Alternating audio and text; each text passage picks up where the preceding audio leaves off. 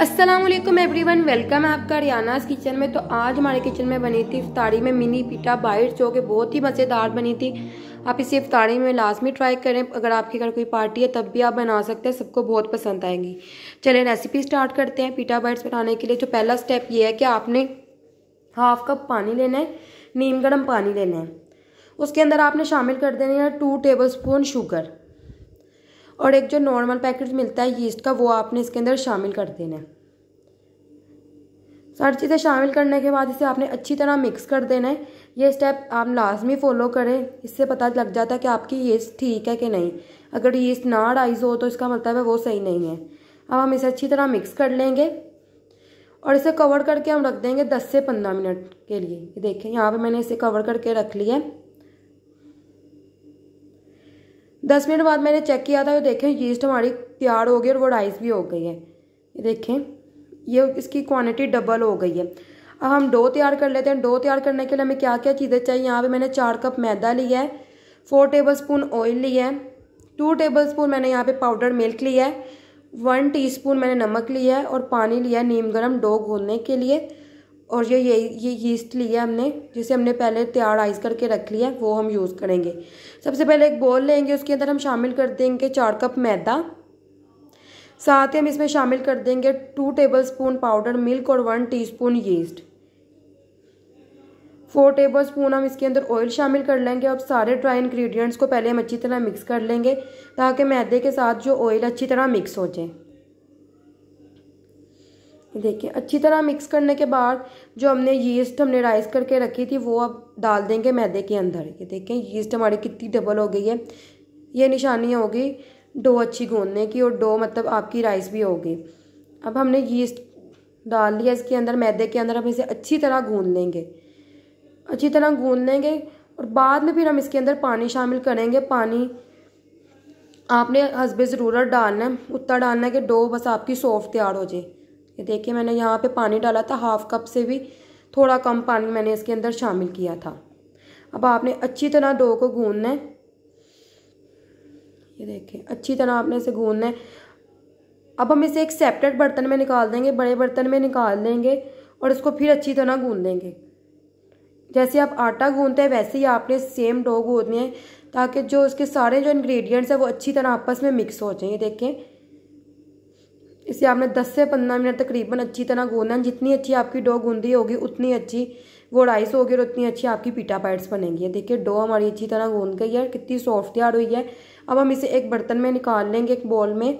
Ball आपका बड़ा होना चाहिए, क्योंकि जो डो है उसने राइस होना होता है। अब इसे एक प्लास्टिक ट्रैप से कवर करके रख देंगे, कोई गर्म जगह से, गर्म जगह पे दो घंटे के लिए। हम अपनी फिलिंग तैयार कर लेते हैं, एक पैन लिया, उसके अंदर शामिल कर दिया ऑयल साथ ही हम इसमें शामिल कर देंगे।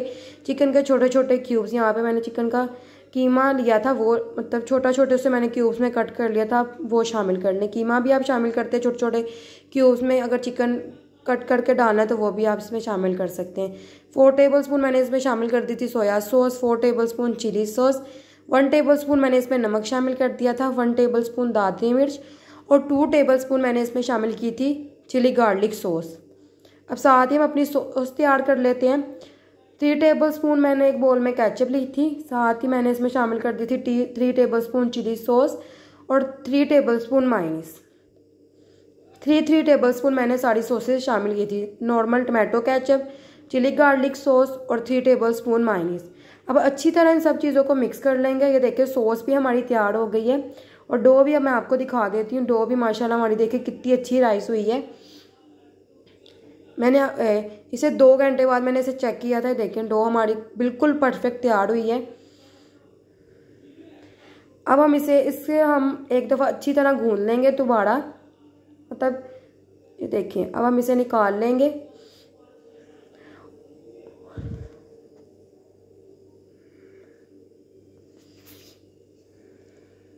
ये देखें, अब इसे हमने हाफ़ डो को निकाल लिया है। शेल्फ के ऊपर मैदा डस्ट कर लेंगे और जैसे हम रोटी को बेलते हैं, वैसे हम मैदे ये जो मैदा है उसको बेल लेंगे। देखिए, ना ये ज़्यादा पतला और ना ही ज़्यादा मोटा। हो ये यहाँ पे मैंने एक छोटा कैप लिया है, उससे मैंने इसकी शेप्स बना ली हैं। और एक यहाँ पे मैंने बड़ा कैप लिया, उसकी मैंने शेप्स बना ली थी। एक छोटी कैप से बनाई थी और एक बड़ी कैप से बनाई थी।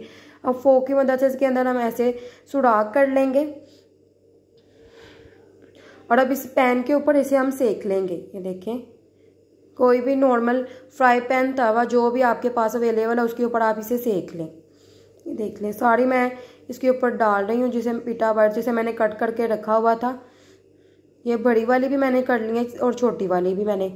अब सबको मैं डाल दूँगी पैन के ऊपर इसे अच्छी तरह सेक लूँगी। दोनों साइडों को आपने अच्छी तरह सेकना है। ये देखें, यहाँ पे नेक्स्ट आपको नज़र आ जाएगा, इसका देखें कलर चेंज होना शुरू हो गया ज़्यादा।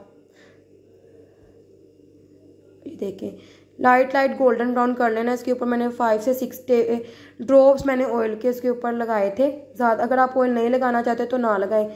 ये देखिए, कितनी सॉफ्ट पीटा वाइट्स हमारी बनी है। चले, अब हम इसे असेंबल कर लेते हैं। यहाँ पे हमारा चिकन भी रेडी हो गया है।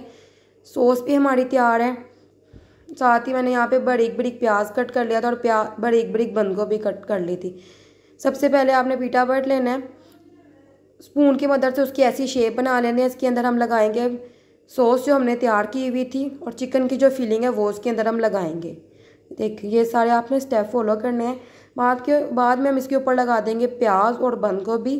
तैयार है हमारी मज़ेदार पीटा पाइट्स इफ्तार में बनाएँ और सबको खिलाएँ। इंशाल्लाह सबको ये रेसिपी बहुत पसंद आएगी। मिलती हूँ आपसे इंशाल्लाह एक न्यू रेसिपी में। तब तक के लिए मुझे दें इजाज़त। अल्लाह हाफिज़।